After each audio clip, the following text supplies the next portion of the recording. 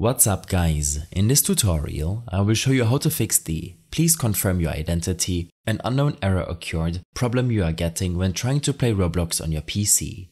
This should be quite an easy tutorial. For more information, click on the first link in the description below.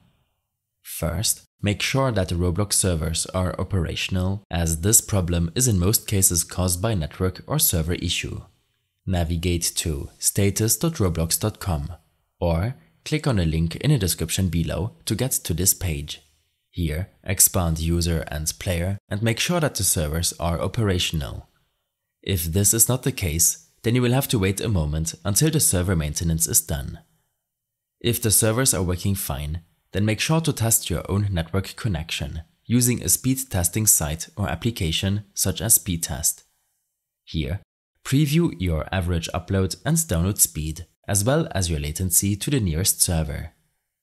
In case you notice a high ping or unreliable download speed, then you will have to make a few changes to your network connection, such as limiting the amount of devices connected to the same network, or restart your router in case you haven't done this in a while. When this is done, head back to roblox.com and try logging into your account you might want to log in using incognito mode to prevent browser extensions from causing the error. If the problem persists, open up your Windows settings. Under Network and Internet, click on VPN and make sure that your VPN connection is disabled.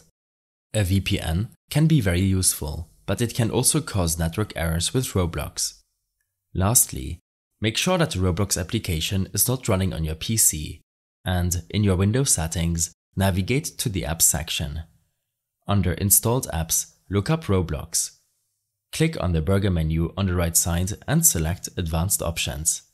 Scroll down and click on Repair. This will take a few seconds to make sure that your Roblox files are complete and up to date. All of these steps and further information will be available in my extensive guide linked in the description below. I hope this helped you out Leave a comment if you have any questions and see you in the next one.